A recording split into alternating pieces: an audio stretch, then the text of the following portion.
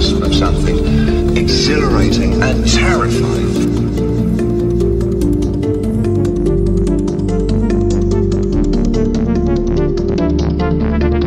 personified, I think, by the uh, the rave culture of the last few years, where the audience is at least as important as whoever is playing at the rave. It's almost like the artist is to accompany the audience and what the audience is doing.